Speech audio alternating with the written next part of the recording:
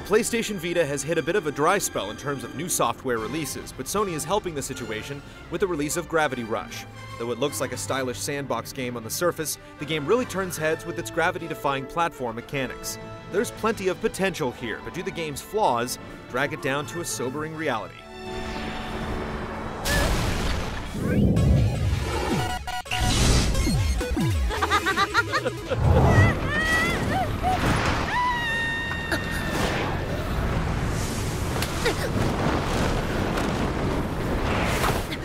Gravity Rush casts you as a young amnesiac named Kat, who learns she has the ability to defy the laws of physics.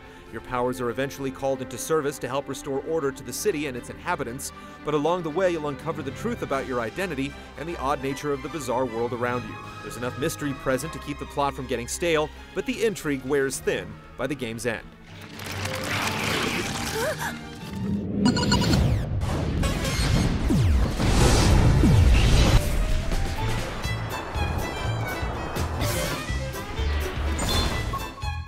The world of Gravity Rush is an open environment where you're free to roam around and engage in various activities.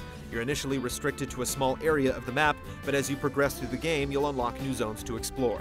Though it's structured in a similar fashion to most sandbox games, Gravity Rush is lacking in the area of side attractions. You'll spend the bulk of your time tackling the story missions, and while they start off rather dull, they'll eventually hit their stride. Many of them involve simply fighting off monsters or bosses, but some of the more enjoyable activities involve using your gravity powers in creative ways, like sneaking into a location without being caught.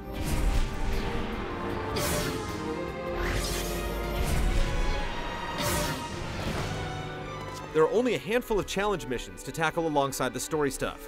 Your rewards for completing these side missions, should you perform well enough, are precious gems you can use to level up your abilities.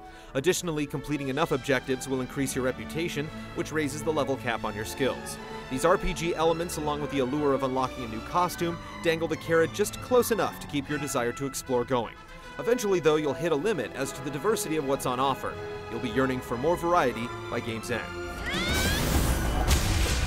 Even if you strictly stick to the story missions, Gravity Rush will take you at least 10 hours to complete, though you can tack on a few more if you try to do everything.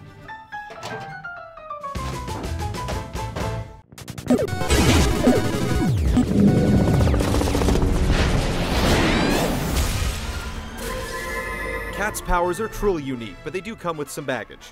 You're able to change the way gravity affects you on a whim, and though it's relatively easy to get around using your powers, there are times when the camera really makes things disorienting.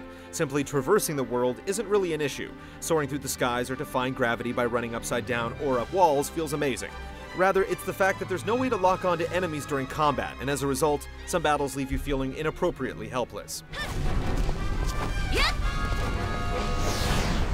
The combat mechanics are undercooked overall, and while you can learn a few new abilities over the course of the game, the fighting soon settles into a repetitive rhythm. The system lacks polish in general, with the gravity mechanics never seeming to fully come into their own with the combat.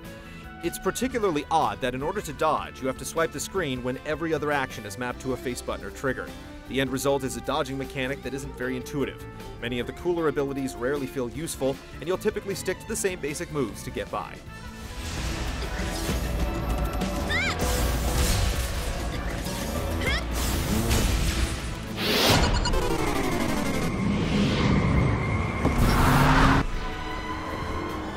Gravity Rush is definitely a looker, achieving a level of visual fidelity that wouldn't seem out of place in a high-end console game.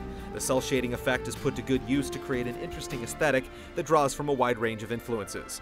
Tilting the system during any cutscene told through the comic panels will shift the perspective, which is a nice touch. Kohei Tanaka's score is also a standout effort, though Resonance of Fate fans might experience some deja vu.